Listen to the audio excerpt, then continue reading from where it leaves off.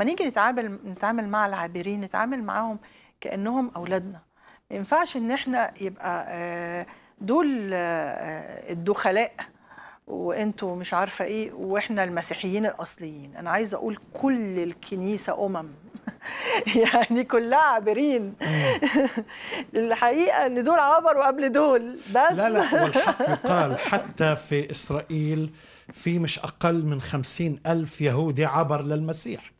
يعني حتى في ال- اللي بنسميهم يهود مثلا أو كذا عبروا للمسيح. في ناس عبرت للمسيح من الإلحاد من الهندوس من البوذية من ديانات من هرطقات من بدع من من وفي اللي عبروا كمان من الإسلام. ولكن لأنه إحنا ببرامجنا إحنا بنتعامل مع مجتمعنا اللي بيحكي اللغة العربية وفاهمين الكولتشر العادات والتقاليد وكل هاي الأمور. فإزاي نتعامل مع الشخص ما يحسش إنه غريب في, في الكنيسة. آه، اولا لازم نكلمه بلغة أسهل.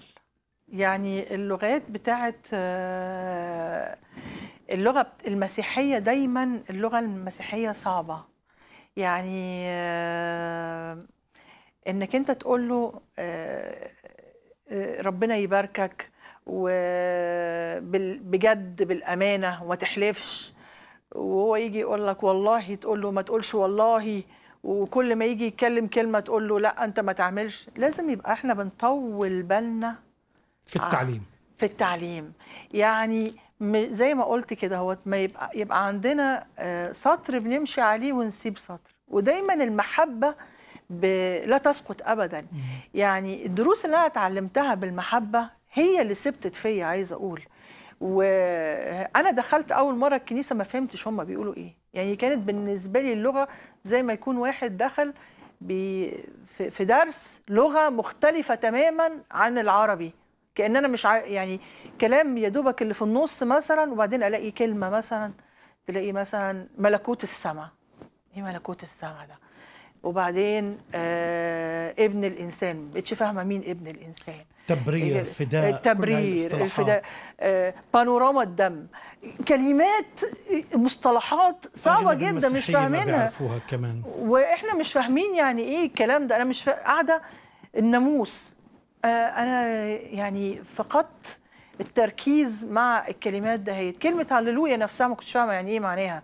سلاه اللي هي السكتة الموسيقية اللي موجودة في المزامير. مش فاهمة إيه دي.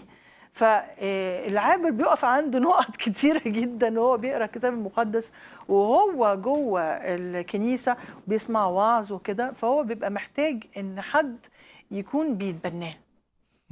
حد يعني يقول لك ده مثلا أخ ليا أو أب ليا أنا هحاول إن أنا أشرح له.